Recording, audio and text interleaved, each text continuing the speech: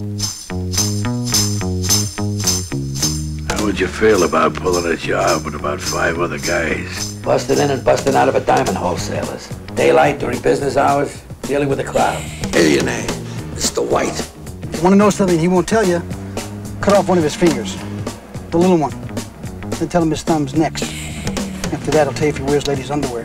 Mr. Blonde. I don't really give a good fuck you know or don't know. But I'm gonna torture you anyway.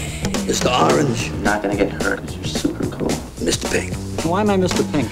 Because you're a faggot, all right? Let's go to work. Hey, Doc, we got a major situation here. I don't think we got set up. I know we got set up. I mean, really, seriously, where did all those cops come from, huh? I don't know if anybody's got the loot. I don't know who's dead. I don't know who's alive. I don't know who's caught. I don't know who's not. We're in the place, everything's going fine.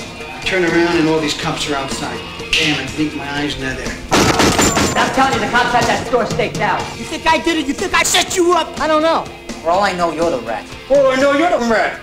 Nobody's got a clue what happened to Mr. Blue? Either he's alive or he's dead, or the cops got him, or they don't.